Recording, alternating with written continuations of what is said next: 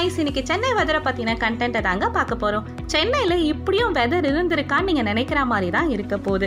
இப்போ இருக்கிற வெதரை பற்றி எங்களுக்கு ஆல்ரெடி நல்லாவே தெரியும்னு நீங்கள் சொல்கிறது எனக்கு கேட்குது ஆனால் இரநூறு ஆண்டுகளுக்கு முன்னாடி எப்படி இருந்துச்சுன்னு உங்களுக்கு தெரியுமா?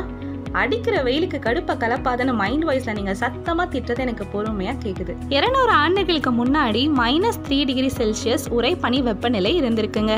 நம்ப முடியல ஆமாங்க. இருநூறு ஆண்டுகளுக்கு முன்னாடி இன்னும் சரியா சொல்லணும்னா April twenty four eighteen fifteen அன்னைக்கு காலை வெப்பநிலை பன்னெண்டு டிகிரி செல்சியஸ்ல இருந்திருக்கு. மூணு நாள்ல மைனஸ் த்ரீ டிகிரி செல்சியஸா குறைஞ்சிருக்கு. இந்த திடீர் வெப்பநிலை வீழ்ச்சி உலகம் முழுக்க நடந்த ஒரு நிகழ்வுன்னு சொல்லப்படுது. இதுக்கு காரணமா இங்க இருந்து சுமார் எட்டாயிரம் கிலோமீட்டர் தாண்டி இருக்க இந்தோனேஷியால நடந்த வேல்கனிக் எரப்ஷன் தானாங்க.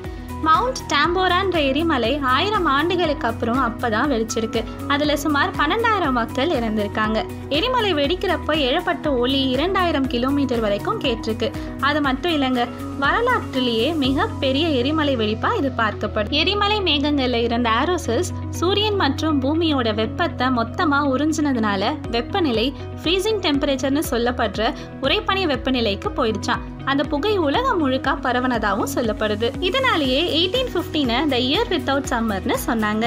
உலகம் முழுக்க உறைபனி வெப்பநிலைனால விவசாயம் ரொம்பவே பாதிக்கப்பட்டிருக்கு. அதை தொடர்ந்து பஞ்சமும் வர ஆரம்பிச்சிருக்கு. இந்த நிகழ்வை பத்தி நீங்க என்ன நினைக்கிறீங்கன்னு கமெண்ட்ஸ்ல சொல்லுங்க. அதோட அடிக்கிற வெயிலுக்கு வேல்கனிக் எரப்ஷன் அகெயின் வந்தாலும் பரவாயில்லடா அப்படின்னு நினைக்கிறவங்களும் கமெண்ட்ஸ்ல சொல்லுங்க. இன்னைக்கு பார்த்த கண்டென்ட் உங்களுக்கு பிடிச்சிருந்தா லைக் பண்ணுங்க சப்ஸ்கிரைப் பண்ணுங்க பெல் ஐக்கானை தட்டி விட்டுருங்க.